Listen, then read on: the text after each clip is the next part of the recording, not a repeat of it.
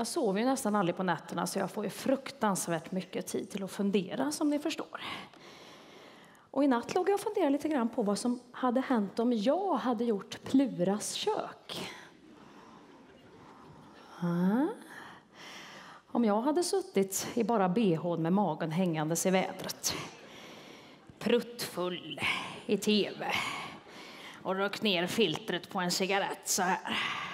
Med något halsband från Goa Goa och torkade rönnbär som hade letat sig ner i dekolletaget. Så. Om jag hade rört i grytan med ena näven och kliat mig i skrevet lite bland andra så. Låt mig höra kärlekens tunga. Jag tror jag hade förlorat vårdnaden om barnen, ja.